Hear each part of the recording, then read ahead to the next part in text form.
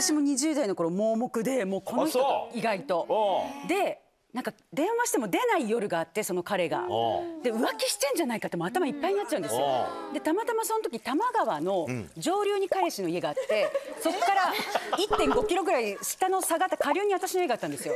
何そ何その桃太郎みたいな位置関係。一の時代の話。川あるでしょ多摩川の上流と下流に住んでてあもうこれ絶対浮気してる。でもタクシー代もないしっていう時期だからもう土手を多摩川の土手を短パンとノーブラで T シャツでこうやって走ってて。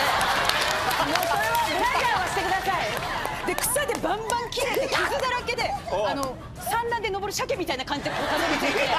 傷だらけ傷だらけで。お。まあそれで見てあの一人だったしお。覗いてまあ安心して帰ってきましたけど。それでピピンポンしたりはしないの？なんかごめんごめん会いたくなっちゃったとか気持ち悪いでしょノーブラで傷だ